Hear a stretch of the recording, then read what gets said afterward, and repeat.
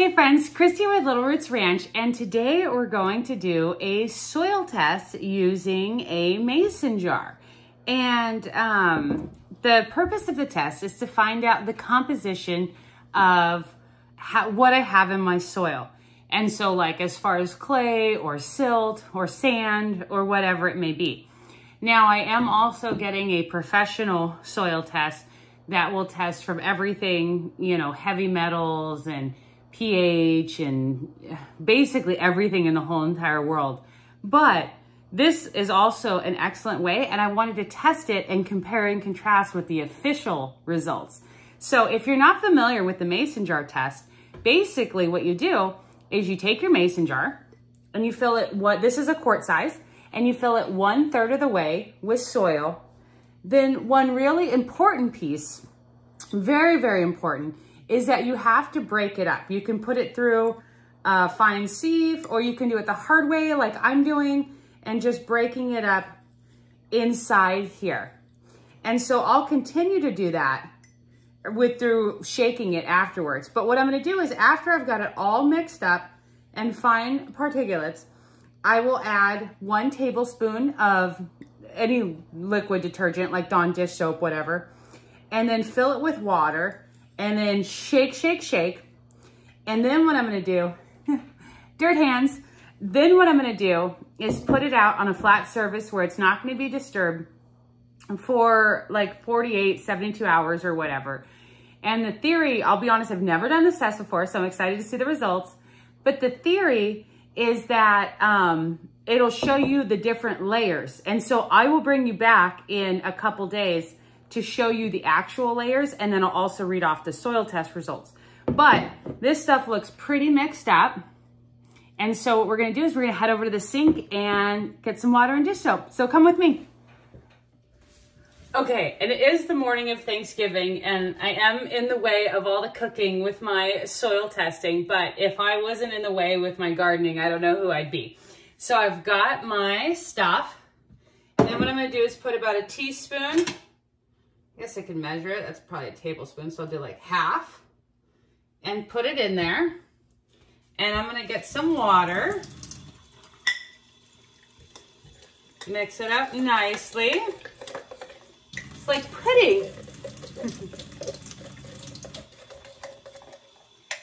Rinse that off. I'm on a well, so my pressure's low, so it takes a minute for it to fill up.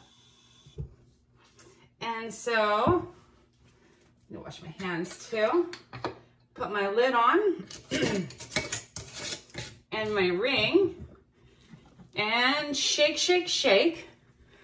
I'll do it off camera so I'm not like shaking for like a few minutes. But you can see now it looks like chocolate milk. And so again, the theory is that over the next couple days or two days, three days, whatever, what'll happen is that the the heavier pieces will settle on the bottom and that'll be your clay.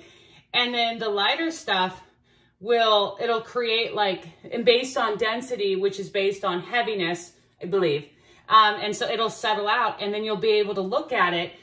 So if I've got like my dark level to like right here, I can say, oh, I've got 40% clay, or if it's up here or whatever it may be. But anyway, so I'm gonna keep shaking this and get this onto a countertop where it won't get moved at all. And then I'll be back in a couple, well, in just one second on the video, but I'll be back in a couple days to test it out. So be right back. Okay, so it's been a few days and my mason jar has had time to sit um, and I have the official results back from my soil test. So I wanted to share on how the soil block, or soil block, how the soil mason jar soil test stacked up against a lab soil test. And I'll do another video to go through the results of the other stuff in the soil test. But for this purpose, so I've been trying to spend time figuring out how to, so first of all, for me, it wasn't very easy to interpret the different layers. I'll be honest. When I look at it, I see easily two different layers, and obviously there should be three. So how it's supposed to work is that within like the first minute, the sand is the heaviest and it settles down at the bottom.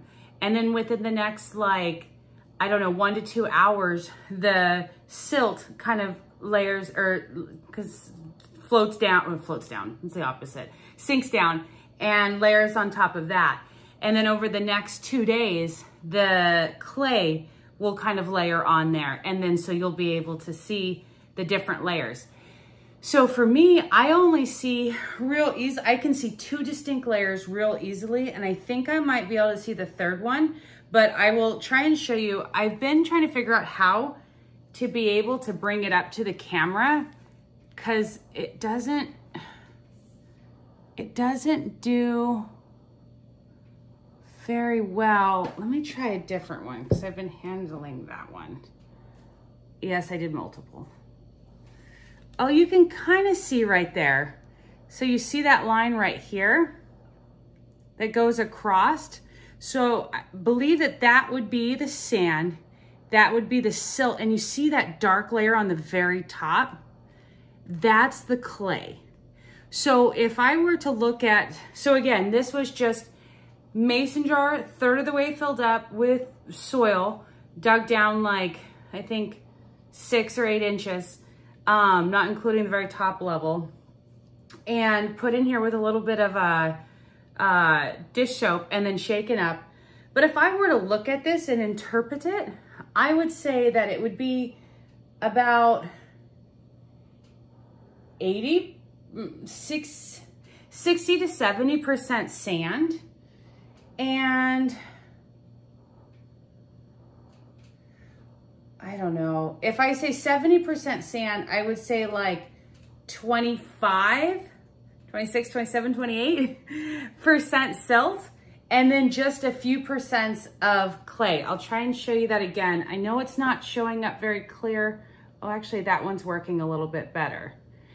So it's hard, you can kind of see there's a little bit of difference between here and here, but then there's that thin layer. I don't know if you can see it all the different times. So that's what it looks like just looking at it. My soil report, it says, and I went to uh, Simply Soil Testing. They're in um, Mount Vernon. This isn't like a sponsored thing or anything like that. This is just where I get my soil samples.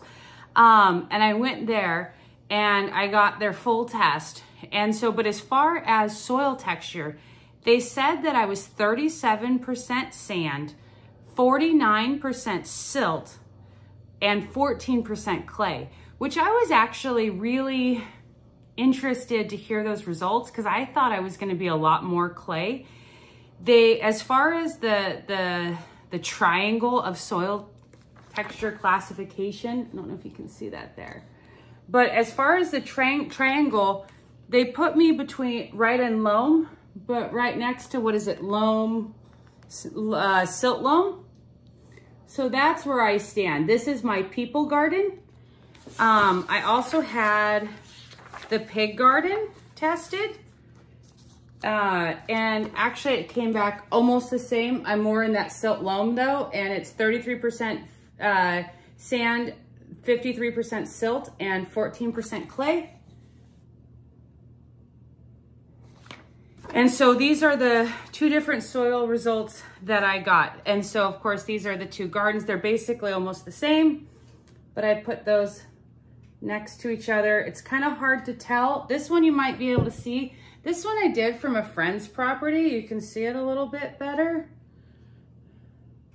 kind of, but it's coming about the same. So if I were to say, I think all in all, I think that the mason jar soil test worked really well if if you're just getting into gardening or if you don't have the funds to spare for a soil test or you're not interested in doing all of that and you just want a cool project, I highly recommend it if it's just a cool project for kids because it's fun to watch it settle out.